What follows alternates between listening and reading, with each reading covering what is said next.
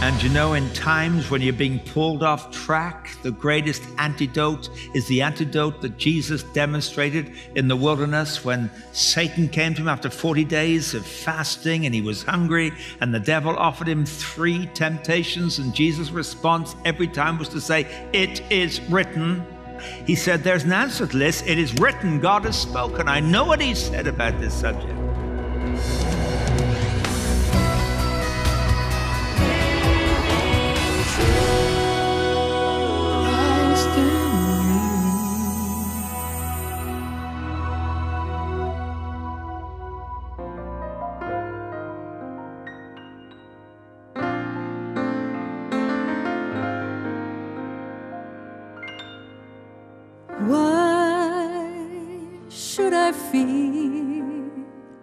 Discouraged.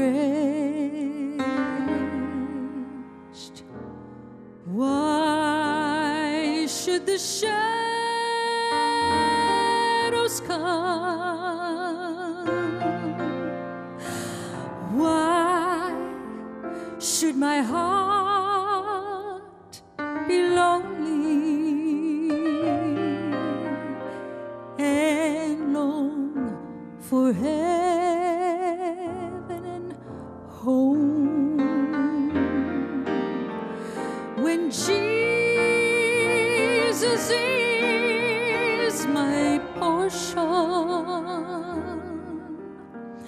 my constant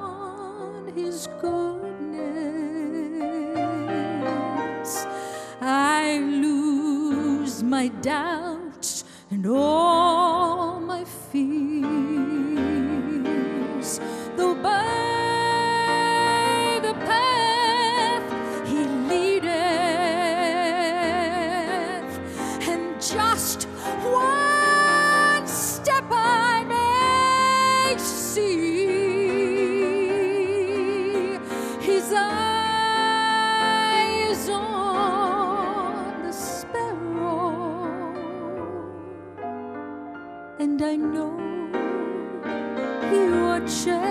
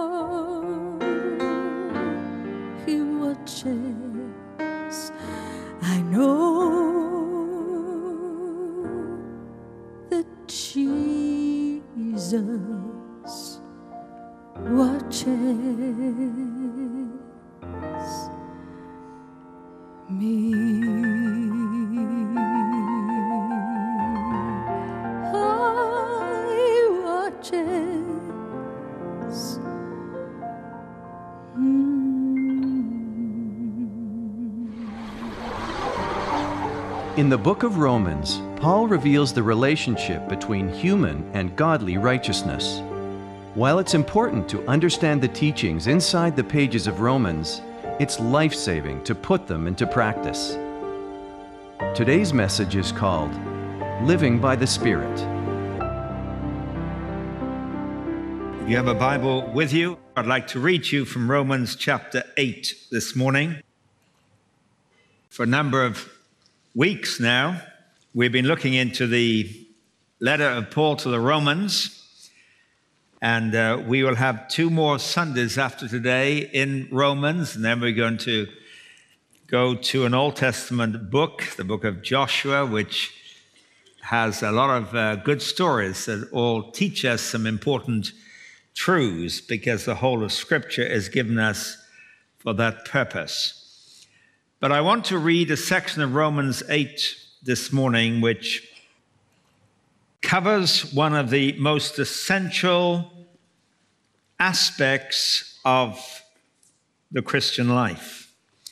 And I'm going to read from verse 5 down to verse 17, where Paul writes Those who live according to the sinful nature have their minds set on what that nature desires. But those who live in accordance with the Spirit have their mind set on what the Spirit desires. The mind of sinful man is death, but the mind controlled by the Spirit is life and peace. The sinful mind is hostile to God. It does not submit to God's law, nor can it do so. Those controlled by the sinful nature cannot please God. You, however, are controlled not by the sinful nature, but by the Spirit, if the Spirit of God lives in you. And if anyone does not have the Spirit of Christ, he does not belong to Christ. But if Christ is in you, your body is dead because of sin, yet your spirit is alive because of righteousness. And if the spirit of him who raised Jesus from the dead is living in you, he who raised Christ from the dead will also give life to your mortal bodies through his spirit who lives in you. Therefore, brothers, we have an obligation, but it is not to the sinful nature to live according to it.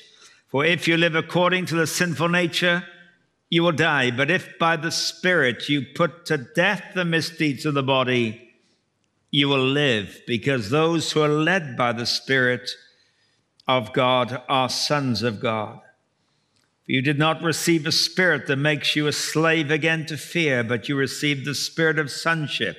And by him we cry, Abba, Father. The Spirit Himself testifies with our spirit that we are God's children.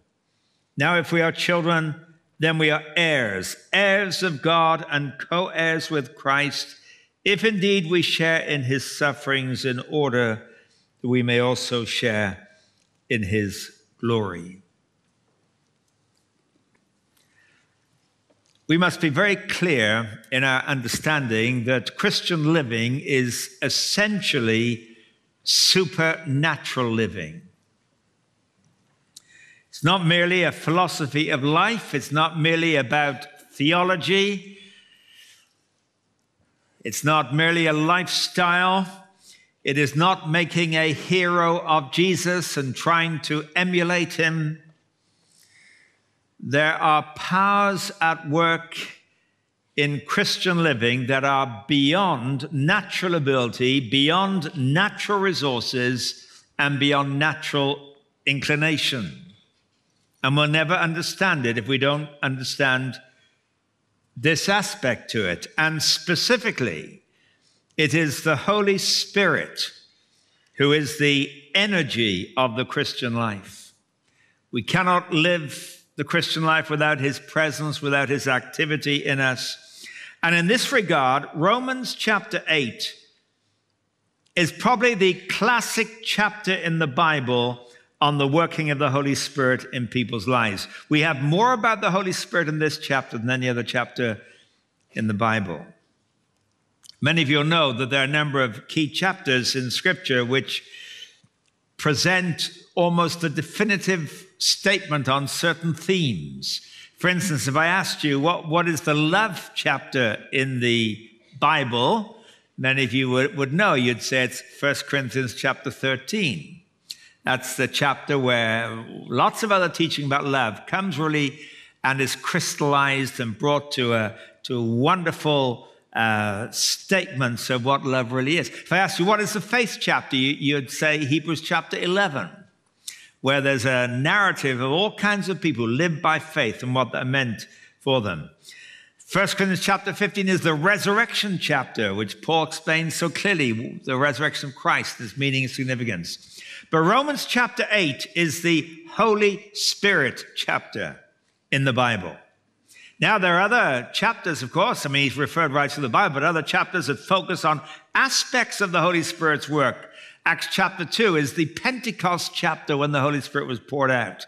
1 Corinthians 12 and 14 are the spiritual gift chapters where they are described in much detail. Galatians 5 is the fruit of the Spirit chapter. But his regular work in the lives of believers is crystallized most clearly here in Romans chapter 8. And there are 22 references to the Spirit in the first 27 verses.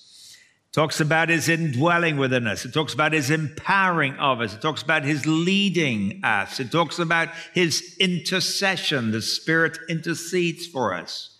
The words that cannot be uttered humanly.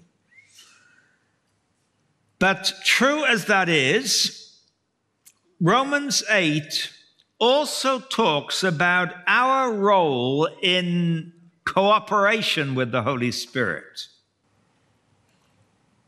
The exercise of our responsibilities in working with the Holy Spirit, the disciplines that are necessary for us to live in a full experience of the Holy Spirit's presence and working in our lives. And so you've got statements like, our deliberate living according to the Spirit in verse 4. That's not an automatic thing. That involves deliberate discipline of life, that our lives are in accordance with the life of the Spirit. You've got in verse 5, he talks about those who live in accordance with the Spirit have their minds set on what the Spirit desires. That is a deliberate, disciplined exercise of the mind. And we talked about that a little bit last time. Verse 12, he says, Therefore, brothers, we have an obligation, but it's not to the sinful nature. It is to live according to the Spirit. Now he talks about this as a deliberate discipline of obligation that we have to conform to if we're going to enjoy the Spirit's working within us. Verse 13, by the Spirit you put to death the misdeeds of the body. Now, the Spirit is involved there, but you've got to put to death whatever that means. We'll talk about this later the misdeeds of the body. That is a deliberate discipline of putting to death. And we need to see both of these aspects working together. The Holy Spirit's work, which is supernatural, it is God Himself at work within us. But we don't just go back into some quietistic, passive mode. There are disciplined responses that enable the Holy Spirit's working to work out and Romans 8 talks about this, and we need to understand both together. Let me just first, though, point out what Paul writes here about the Spirit's indwelling of a Christian. He says in verse 9, You, however, are controlled not by the sinful nature, but by the Spirit, if the Spirit of God lives in you. And if anyone does not have the Spirit of Christ, he does not belong to Christ. Paul says that it is the active presence of the Holy Spirit in us that means that we belong to Christ. This is what Jesus called the new birth when he told Nicodemus, you have to be born again. You have to be the recipient of a new life. And that new life you become the recipient of is the life of the Holy Spirit. You see, right at the heart and essence of the Christian experience is not just we're forgiven of our sin, that's a wonderful thing, but that we have been made regenerate, that we've been the recipient of new life, that the Spirit of Jesus Christ has come to live within us. And actually, Paul interchangeably speaks about the Holy Spirit in these verses as the Spirit of God, as the Spirit of Christ. And as the Holy Spirit Himself, you can see that in, in a number of verses here. It is the Trinity lived in us by the Holy Spirit. We know who God is. He is the great, almighty, powerful creator God. It is the spirit of that God that comes to live within you. We know who Jesus Christ is. He lived for 33 years as a human being. And we see in the narrative of his life the way he lived, the way he behaved, the kind of attitudes that he held. And it is the spirit of that Jesus Christ that lives in us. And so we're being molded and conformed into the same likeness as he was. But it is the Holy Spirit's presence that is the essential ingredient that makes us a Christian. When Paul was on his third missionary journey, he came to Ephesus. And a man called Apollos had been there in advance. And Apollos had not really given the full message. He told people they could be forgiven. He told people they could be baptized. And their baptism was a picture of coming out of their old life. But he hadn't really adequately explained to them the fullness of the gospel. Because uh, another couple, Priscilla and Aquila, had to go and do this with Apollos. But when Paul came to Ephesus and saw these disciples who had been left there after Apollos' visit, it says he found some disciples there and he asked them, Did you receive the Holy Spirit when you believed? Now, his question was a very straightforward question Are you genuine Christians? Not do you believe facts because they did believe. He said, Did you receive the Holy Spirit when you believed? So they believed.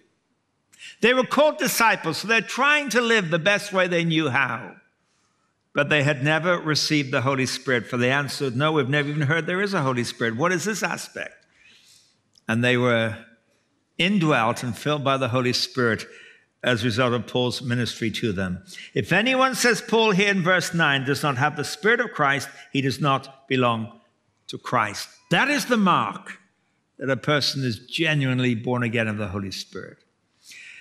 Now, what does the Holy Spirit then, indwelling us, do? And I want to point out three things from these verses. The first thing I want to point out is that the Holy Spirit gives new desires. Because in verse 5, he says, Those who live according to the sinful nature have their mindset on what that nature desires. That's their natural inclinations, self oriented. But those who live in accordance with the Spirit have their mindset on what the Spirit desires. The Spirit has desires, and the mind of the person who becomes indwelt by the Holy Spirit takes upon itself the desires of the Spirit and we begin to desire what the Spirit desires. what does the Spirit desire?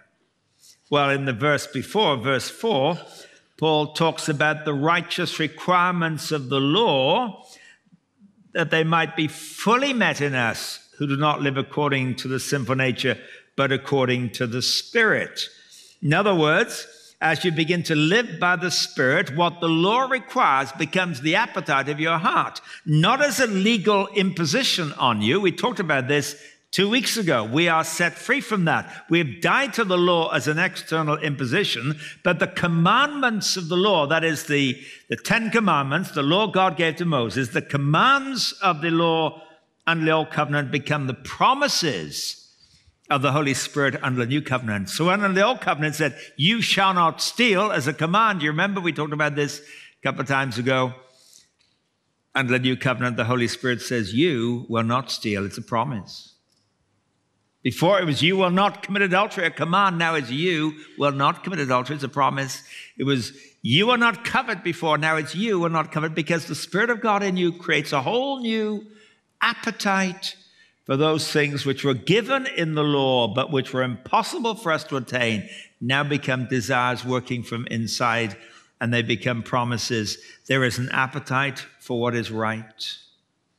And the mark of the Holy Spirit living in a person's life is they begin to desire what is right and they begin to discern what is right. Because you begin to live, as Paul puts it here,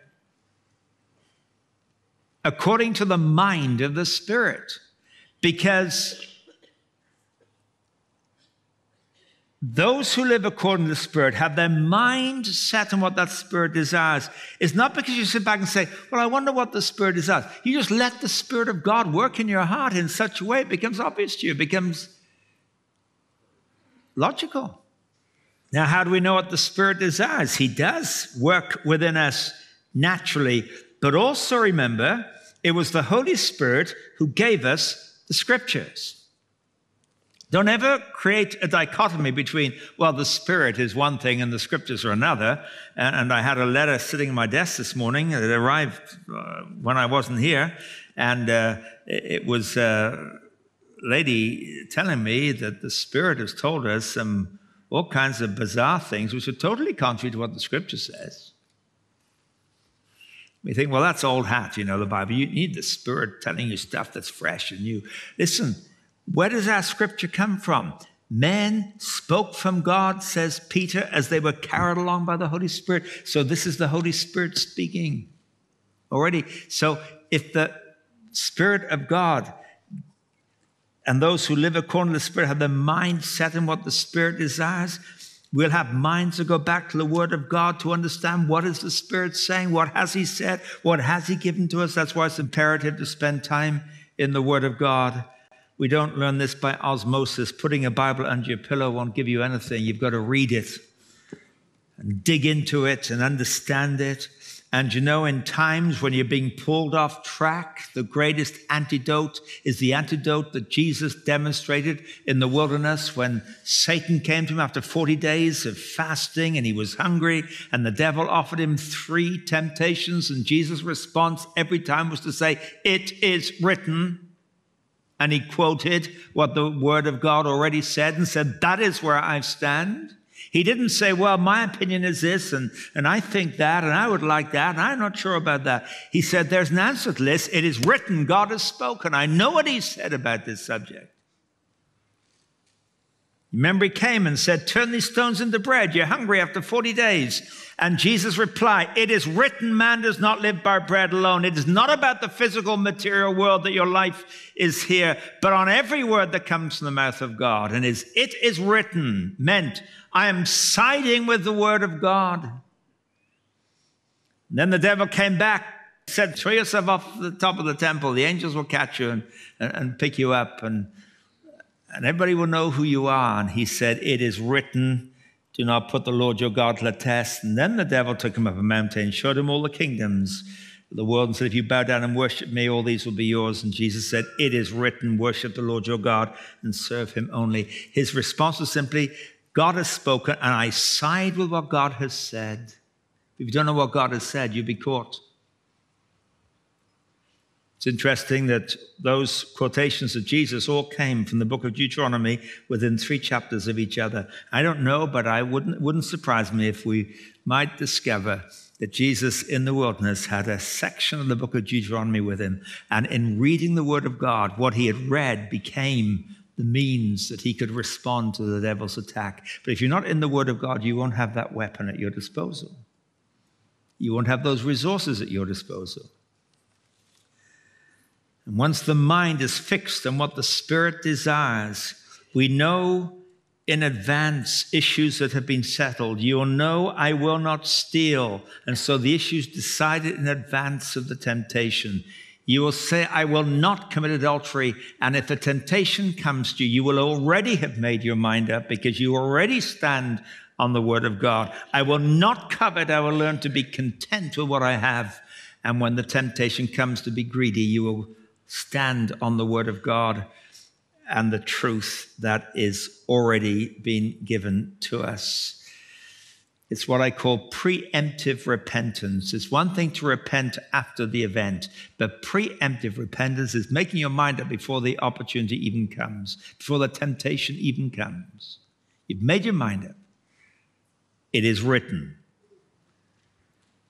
And if your mind is not made up and in agreement with the things of the Spirit, you will battle every time. I know because I've been there, and probably most of us have where you've been woolly on something God has spoken about, and the temptation comes and you, you run around it in circles and you end up not knowing where you are. And the first thing that the Spirit does is He gives new desires. Internally, such as my friend in England, but those same desires you find there in the Word of God, and we can read them and be sure of them. Do you know the result of the mind that is on the things of the Spirit? Well, verse 6, second part of verse 6 says, The mind controlled by the Spirit is life and peace. Is life, there's order, there's security, there's a sense of peace. And you know, people will give anything for that, and it's available to them. Anything for that. You align your life with the Spirit of God, with the Lord Jesus Christ, and now the Holy Spirit live within you. And the mind controlled by the Spirit is life and peace. And you know the result of the mind that is on the things of the flesh? Verse 7 tells us the sinful mind is hostile to God. You'll find a hostility developing, and that hostility towards God will express itself in hostility towards others and to life and to situations. Your conscience will be troubled. You'll be easily angered. There'll be a sense of discord, no peace. And that's why it's so important. Our minds are with the things of the Spirit. That's the first thing the Spirit gives us new desires. Secondly, the Spirit gives new determination. I use that word because in verse 12 and 13, Paul says, Therefore, brothers, we have an obligation. Obligation is the word he uses. But it's not to the sinful nature to live according to it. For if you live according to the sinful nature, you will die. But if by the Spirit you put to death the misdeeds of the body, you will live. Now that's a strong language there. He says, This is your obligation now with the Spirit of God living within you. You will put to death the misdeeds of the body. What is this putting to death? You know, there's a lot of death and dying in Romans chapter 6, 7, and 8. You may have noticed that as we passed through it. In chapter 6 and verse 2, we died to sin, Paul says. Chapter 6, verse 5, we have been united with Christ in his death. Chapter 6, verse 8, we died with Christ. Chapter 6, verse 11, count yourself dead to sin. Chapter 7, verse 4, you also died to the law. Now you notice all those words in chapter 6 and 7 are past tense. You died. You have died. You were crucified. You count yourselves dead. That was assume you're dead. They're all there in the past tense. But now in chapter 8, he says, By the Spirit, you put to death the misdeeds of the body. And this is in the present tense. Now, there's a difference here then that we must understand. There's a past tense position in chapter 6 and 7. This is your position before God and includes certain things have died. But now in chapter 8, there is your condition, which involves putting certain things to death. Let, let me uh, explain this. Our, our position is important for us to understand. Our position is According to chapter 6 and 7, we're not going to explain it now. If you've missed it, you'll have to look it up. We died with Christ. How does that work? When Jesus Christ died, we were reckoned to be in Christ. So his death was as our substitute, and his death was to the Father my death, paying in full for my sin in the substitute, the Lord Jesus Christ. And so I was crucified with Christ. I died with Christ. In so doing, I died to sin, and no longer has any power because its power is death, and death has been paid in full. And I died to the law, so the demands of the law, which I cannot fulfill anyway, are no longer demands made upon me, as I've said, because those demands have now become promises by the Spirit within. So he says there that our position is that we have died in Christ, and this reconciles us to God. So, chapter 8, verse 1 there is now no condemnation to those who are in Christ Jesus. That's an established fact. This is an important truth Paul is teaching in Romans. Now, you don't have to crucify yourself, you don't have to die to sin. I, know people trying to die to sin. In fact, I went through years of thinking, count yourself dead to sin, or the old King James said, reckon yourself dead to sin. It was like saying, pretending I was dead to sin or something. And I knew I wasn't. Now, he's talking about the power of sin to destroy you. That destruction has already been meted out in Christ. I met somebody once who said to me, How do I crucify myself? I'm trying to crucify myself and my sin. Well, that's an interesting question. How, how, could you crucify yourself? I mean, think about it practically, physically. How could you crucify yourself? You're knocking down that hand. What do you do about this hand? You got to pull this out and knock down that. I mean, if you had to kill yourself, the last way you could do it is by crucifixion. There are multitude of ways you can kill yourself.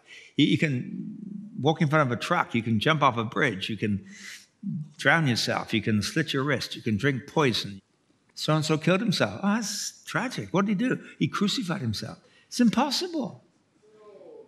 You have to be crucified. And the great thing is, you were, I was. This is our position.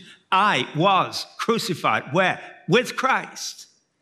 Every sin that God's wrath was meted out against was addressed and satisfied in God's justice. That's why we're free. That's why there's no condemnation. We have died with Christ. That's our position, but our condition is that although we have positionally the right standing before God, we need to grow and develop in the practical outworking of that relationship in this world, in this life, in holiness of life, in our battle with sin, in the way that we live to grow in Christ likeness. You see, there are things that we have, we need to be sure of those things, and things that we need, we need to be sure of those things as well, and they're separate. Let me try to illustrate this. When a baby is born, we've had a lot of babies born in this congregation in the last months, including my granddaughter. And when a baby is born, that baby has, from the moment of birth, all the life it is ever going to have. It doesn't get topped up every 12 months with some new life or every month. It's got all life is going to need. You can look at that baby, six hours old, and say, You are fully and totally alive. You have a name Frida. Is that a good name for a baby? You're the son of Fred. And Frederica. That's why they called you Frida. You are a Canadian citizen. You were born on Canadian territory. Your identity is full. You can get a passport next week if you want one. That my granddaughter got a passport within a month. And uh, she's changed already, but it's valid for five years. So I can imagine five years, you know, a little five year old girl presenting a passport, a little one month old baby. But anyway, you're entitled to that because you, your status, your standing is totally secure and in place. Your birth certificate will give your name, and that will not change legally in the normal course of events. You can change it legally, but in the normal course of events, that name will not change. You have a standing for God that will not change. It is our position. But that little six week old baby, if you go back in six months and you go, you know, little six week old baby, six hour old baby who can't even focus, you, would be disappointed because that baby has to change and it will change. It learns that that's what's this thing floating around? Oh, I'm in control of it. It's my hand. And there's another one floating around. I can smack them together and they start to clap and they start to crawl and they start to walk and they start to talk and they start to jump and they you continue until you're your age. And we continue beyond our age. We're developing all the time, we're growing all the time. We have our position in Christ that is secure and final, but there is a condition that constantly changes and develops. So in Romans 6 in particular, and part of 7, he's talked about your position. Be very sure of it. Now let me talk about your condition. You've got to develop and grow. And that's why, though you have died to sin, you've died to the law, you've died to Christ, you also have to put to death the misdeeds of the body. That is, these sins that you battle with. And so he says we have an obligation, verse 12. And verse 13 explains it. By the Spirit we put to death the misdeeds of the body and basically, that means you've got to do something to knock them on the head or starve them of life. This is not something preferable to make your life nicer. This is an obligation in order that the Spirit of God within you can express Himself more fully because it's by the Spirit, it's part of the desires He puts in your heart. But also, there's that determination. And if we're going to grow in our relationship with God, we have to deal with sin properly. There is a conflict, the flesh and the spirit. We talked about that last week. The devil prowls around like a roaring lion, seeking whom he might devour. Our minds do need to be set on the things of the spirit, but at the same time, we have to put to death the things of the flesh. And it can be an all out battle. It's not easy. I know it's not easy. I'm battle as you battle.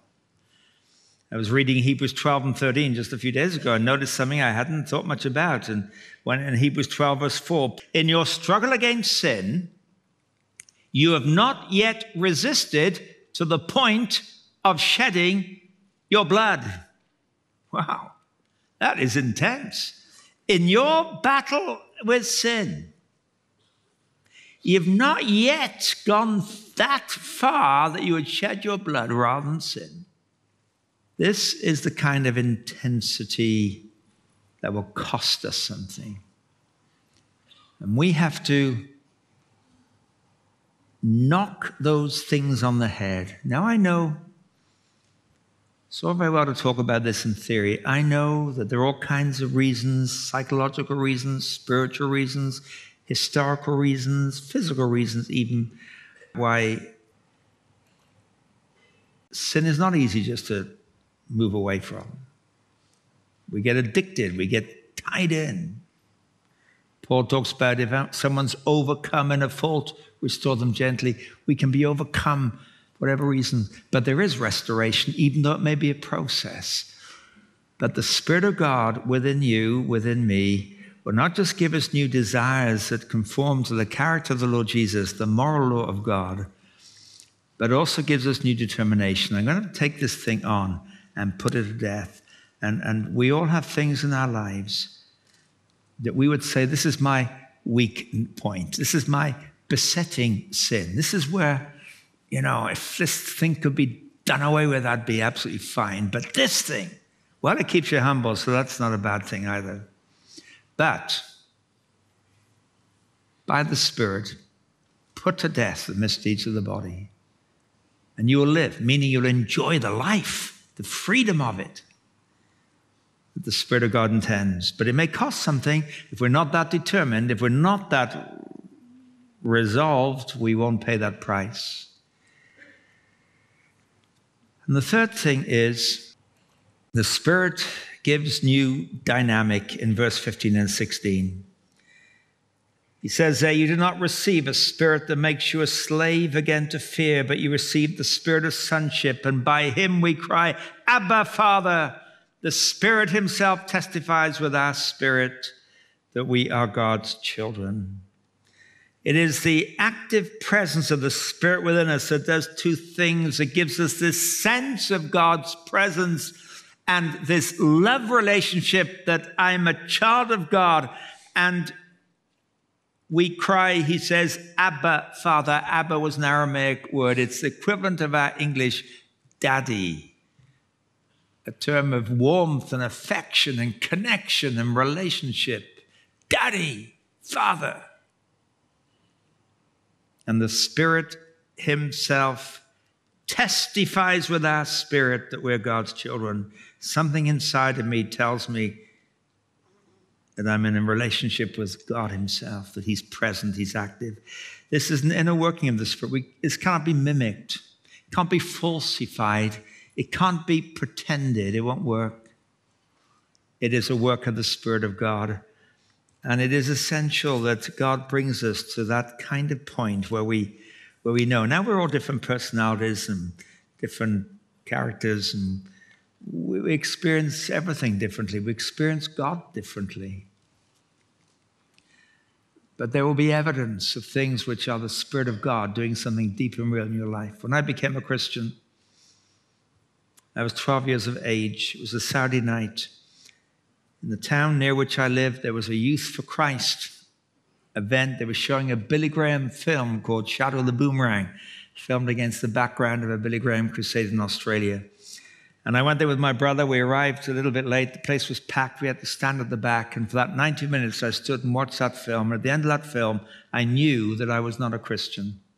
And I knew that I wanted to be one. God had spoken to me through it. And a man got up at the front and he said, If you're not a Christian tonight and you want to become a Christian, God has spoken. You come down the front. We have people to talk with you, pray with you. And people went down to the front, but I didn't because I was too shy to do anything public like that. But I prayed quietly in my own heart, God, I don't remember the words, of course, but the effect, God, I'm not a Christian. I want to be one. Would you please make me one tonight? I didn't feel anything. I, I, I didn't have any sensation when I went home that night if somebody said to me, Did you become a Christian? I wouldn't have known. I knew I wanted to, but I didn't know if anything had happened. Next morning, which was Sunday, I went to the church in the village I'd grown up in. I'd been there all my life. And that Sunday morning, for the first time that I could remember, the service was interesting. I went back on Sunday night, and for the first time again, the preacher made sense. I thought to myself, this is remarkable. These people have changed overnight. this used to be so dull and uninteresting. And suddenly it's become interesting. And I discovered an appetite within me that I hadn't had before. This book, which I had the Bible, of course, I've been given the Bible. It was my house. I was supposed to read it, but I didn't and never did because it was dull. Suddenly it was alive. I had an appetite I, I've never lost in all those years till today for God, for His truth, for His word for his purposes, for his agenda. And 24 hours after, I didn't see it as clearly then as I'm explaining to you now, but 24 hours after, I knew I was a Christian because I knew something had happened inside me. And I had an appetite I never had before. lady said to me after the first service, said the day after I became a Christian, I went to church too. She said, and we sang the hymns, and I thought, this, this must be a new hymn book. These words are wonderful. They never used to be. She was telling me that was her experience, similar to my experience of seeing that the truths I was hearing were, were living and exciting and real. There has to be the inner witness of the Spirit. It is important to say, well, I know I'm a Christian because the Bible says this, this, and I've followed this, this, and therefore I have that assurance. But not just that objective assurance of the Word of God, we need that subjective inner assurance of the Spirit of God. Paul wrote a couple of chapters earlier, Romans 5, verse 5 God has poured out his love into our hearts by the Holy Spirit, whom he has given us. God has poured out his love into our hearts. You can't manipulate this. This comes from the Holy Spirit. You know that you're loved and you love him back. That's why you cry, Abba, Father, as the Spirit himself testifies with your spirit. Now, let me just briefly say this. There are three negative responses we can make to the Holy Spirit which can destroy his work in our lives. Scripture tells us we can resist the Holy Spirit. In Acts 7, verse 51, Stephen, speaking to the Sanhedrin Council in Jerusalem, said, You're just like your fathers. You always resist the Holy Spirit. Now he's speaking to unbelievers. You can resist him. You can. The Spirit who would reveal and convict, you resist, so you do not respond to him. And you might be in that position this morning. And the Spirit of God become increasingly cold to you. Christ will become increasingly cold to you. But we can also grieve him. Ephesians 4, verse 30 says, Do not grieve the Holy Spirit of God with whom you were sealed for the day of redemption. And I suggest that to grieve him is when we refuse to let him do in us the purpose which he was given to us. We hamper him, we limit him, we grieve him. It is possible to grieve him. We can quench the Holy Spirit 1 Thessalonians 5:19 in the King James Version says, quench not the spirit. The NIV says, do not put out the spirit's fire. Well, same idea, but I like the word quench. Quench is throwing a bucket of water over the Holy Spirit in your life, quenching the work he wants to do. Again, I talked to a man this morning after the first service. I can tell you these, I never give away who they are, by the way, so you're okay. But He's from another city. He's in Toronto on business this weekend. He said, uh, I haven't been to church for years. But he said, I, I, I listened to Living Truth on the radio. Been listening for a number of weeks. And I've been on the website. And I had to be in Toronto this weekend, so I decided I would come here this morning. I said, Why? He said, Years ago, I used to go to church, told me the church in the city, I know the church. Another Canadian city. Haven't been for years. What happened? Well, you know, I got caught up in the business of life. I went through a divorce. I just, I don't know, I just lost connection. I said, but why did you actually come today? He said, Because I want to come back home.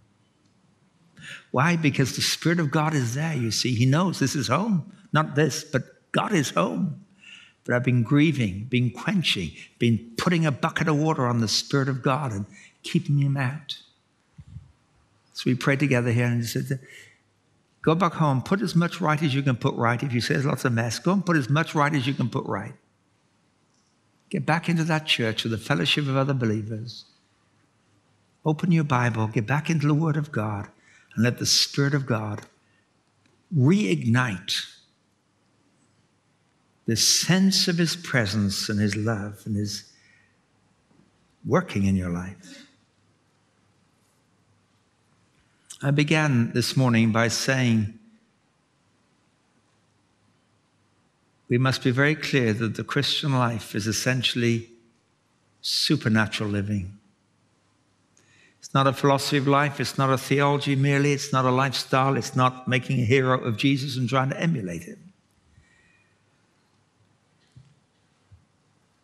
It is a life that is beyond natural ability, natural resources, and natural inclination. Specifically, it is the Holy Spirit who is the life of the Christian. And I have no doubt that there are many of us here, and I know this at different times in my life, absolutely clearly, when I have grieved and quenched the Spirit of God. And my heart has become distant and dry and stale. But there's always a way back. Always a way back when we confess to Him not only our failure and our sin. It's one thing to confess our sin, but if that's all we do, we'll, we'll confess the same sin again tomorrow, probably. At least next week, we'll be back confessing the same thing. It's not just confessing the sin. Why was I sinning anyway? I need to put to death these misdeeds of the body. So, Father, I confess my sin, but also by the Spirit, through His enabling, by His inspiration and desire I'm going to get hold of these things. I'm going to starve them to death. I'm going to knock them on the head. I'm going to deal with them. And you'll be set free for liberty and freedom.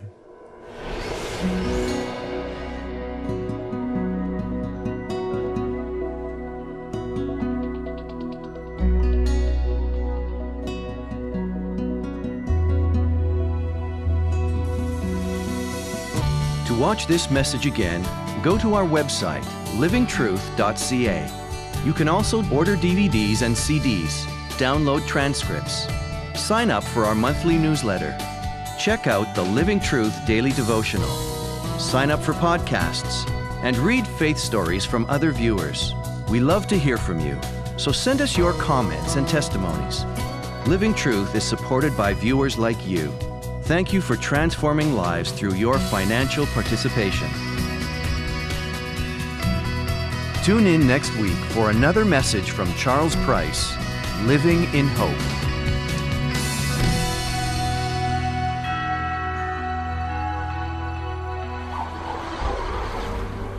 In the book of Romans, Paul reveals the relationship between human and godly righteousness. This union between biblical principles and everyday life illustrates the importance of both what we believe and how we live out those beliefs. Does your daily life truly reflect your biblical beliefs, or do you find yourself in a constant battle of double standards? This series by Charles Price is available on CD and DVD. Learn at home, give to a friend, or plan a group Bible study. To order this series, write to the address on your screen or call plus 1 416 222 3341 extension 113. To order online, visit livingtruth.ca. While it's important to understand the pages of Romans, it's life saving to put them into practice.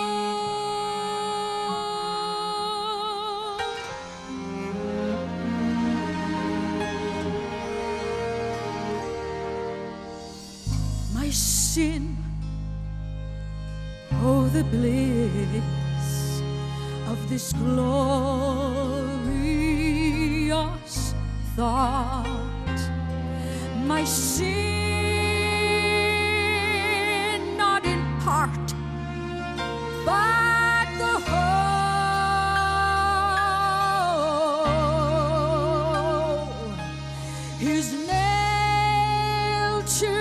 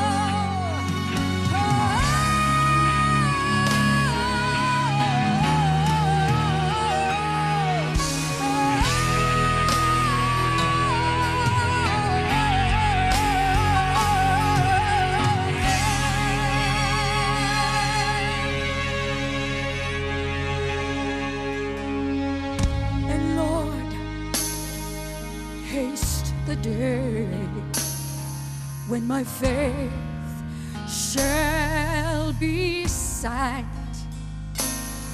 The clouds